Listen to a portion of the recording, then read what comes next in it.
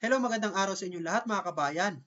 For today's video, medyo out of topic muna tayo ngayon. May nagpa-viral ngayon na video sa social media kung saan may isang teacher na galit na galit sa kanyang mga estudyante sa kadahilan hindi raw siya nire-respeto nito. Pero bago tayo magsimula, i-invite ko po kayo mag-follow o mag-subscribe sa ating YouTube channel para lagi kayong updated sa mga viral video na ina-upload natin na may kinalaman sa ating mga OFW at kahit anong ibang bagay. Simulan na natin. Ito panoorin natin si uh, ma'am. Medyo galit na galit siya dito sa video na to. Hindi natin na uh, masyadong alam sa ngayon kasi sa ngayon ang nakikita lang natin yung video na nagagalit siya. Pero syempre, meron tong uh, other story. So, uh, magre-react lang tayo dun sa kanyang uh, video. So, ito yung video, i-play natin. Nyo, yung ano nyo ah, boundaries nyo ah. Kakalimutan nyo yung boundaries nyo. So yan, may sinasabi si ma'am na parang pinapagalitan niya yung mga estudyante niya. Siguro medyo sumusobra, ganyan. So kaya siguro niya nasasabi na nakakalimutan daw yung boundaries. So uh, normally lang naman yan pag mga kabata, yung mga estudyante mo, normal maku- normally makukulit lang yung mga yan. Pero kumbaga may mga proper way yan para kung paano sila i-handle. So tuloy natin video.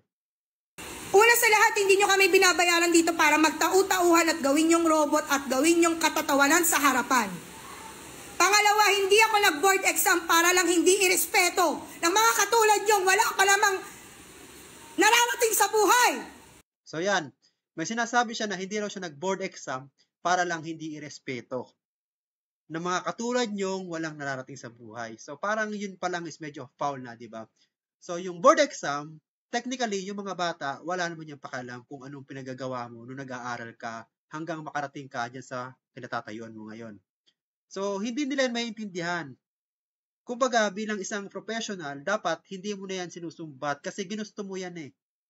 Kumbaga, bago ka naging teacher, una pa lang pangarap mo na yan. So, ngayon, dahil lang mainit ang ulo mo, isusumbat mo to sa mga estudyante mo na wala silang mararating sa buhay dahil hindi ka nire-respeto, na wala silang karapatang ganyanin ka kasi professional ka, siguro may uh, tamang pag-handle sa mga bata sa mga ganyang uh, cases. So, tuloy natin yung video. Ang kakapal ng mga mukha nyo! Galit na galit, oh. Diba? Hindi nyo nga kaya buhayin yung mga sarili nyo? Hindi kayo marunong rumispeto? Ayan. Sinasabi pa niya yan, hindi raw kayang buhayin yung mga sarili. Eh, Siyempre, mga estudyante pa yan. Mga cargo pa yan ng mga magulang. So, uh, dapat hindi natin sila pinagsasalitaan ng ganyan kasi, kumbaga, iba kasi yung uh, pagdidisiplina before compare sa pagdidisiplina ng mga bata sa ngayon. Kung before, pwede mga ganyan, sa panahon ngayon, hindi na pwede kasi, alam nyo naman, social media, pag nakapag-video at naipost sa social media, talagang uh, mababash ka. Lalo na kung ganito yung reaction mo. So, tuloy natin yung video. Mag-board exam din kayo para malaman nyo hanggang, hanggang saan kayo. Baka hindi pa nga kayo pumasa eh. Sa ugali nyong ganyan. Di na nga kayo matalino eh. So, ayun na naman. Sabi niya sa mga estudyante niya, mag-board exam daw sila. Eh, hindi nga natin alam kung high school pa lang ba yan, elementary or ano. Mag-board exam agad. So, di ba?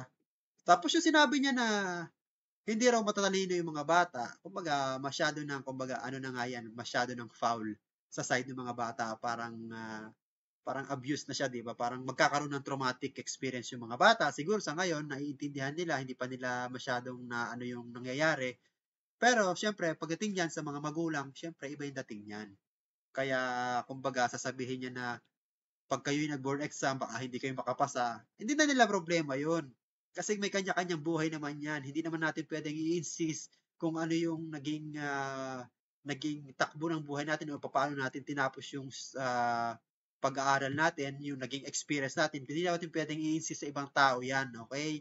Kaya, kumbaga, kung galit ka noong mga time na yan, tapos ganyan yung mga lumalabas sa bibig mo, eh hindi talaga magandang pakinggan. Sama pa ng ugali. Wala kayong mararating. Ako na nagsasabi sa inyo. Wala kayong lugar sa mundo. O, di ba? Alam na niya, alam na ni Mamagad na yung mga estudyante doon niya walang mararating at walang uh, lugar sa mundo. Pero syempre, 'di ba, kung halimbawa tayo mga magulang ang mismong nakaka panood ng video na to o naririnig natin tong pinagsasabi ng teacher ng mga anak natin, syempre hindi tayo matutuwa. Bakit ganito yung sinasabi dun sa mga bata? Kumbaga, sila nga dapat yung teacher, dapat sila yung mga magiging role model para sa mga bata. Magbibigay inspiration, di ba? Parang magiging example na ah, para magsikap sila mabuti sa kanilang pag-aaral. Hindi yung mga ganito na parang masyado namang sobra naman yung sinasabi na masyadong ano na over na parang wala na sa lugar okay Bumaba ka na doon! Tatawa ka pa? Grato. so di ba technically hindi siya naiintindihan ng mga estudyante niya para sa mga estudyante niya yung ginagawa niya katawa-tawa di ba kasi nga dapat kasi kumbaga yung mga ganyan ah, teacher ka for sure may mga training naman yan kung paano i-handle yung ganitong mga situation sa kanila as a teacher Pero kumbaga ganyan, medyo pe-personalin mo na na parang ikaw mismo yung nagpalaki, na bumuhay, or sumustento doon sa bata para pagsalitaan mo ng ganyang hindi magaganda. Siyempre, parang dapat pag-isipan muna natin. At saka bakit ah, oras ng klase naka-live sa TikTok pa? So, ano yun, di ba parang yun palang foul na sa side mo na nag-live ka pa. So, nakita na ngayon ng buong ah, Pilipinas or international yung video mo na ganyan yung ginagawa mo sa klase mo maiintindihan natin yan kung naka-laptop ka, nagre-research ka, may related sa sa mga estudyante mo or sa klase mo yung ginagawa mo pero kasi bakit naka-TikTok ka that time.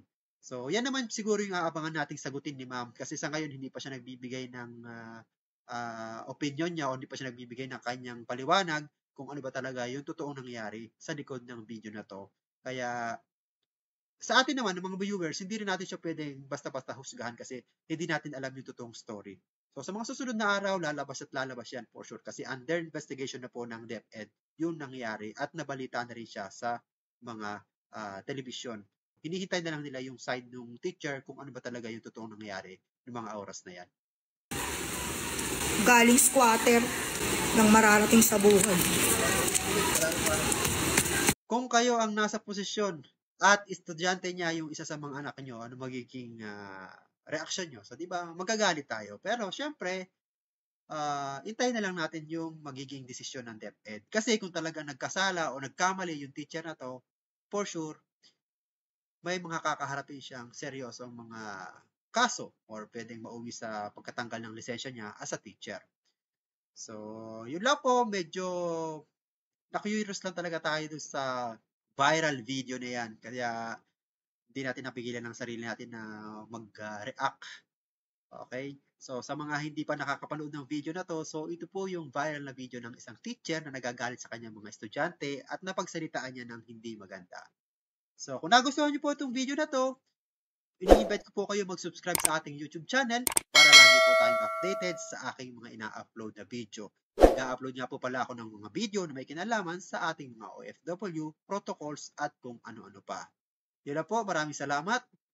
Have a nice day.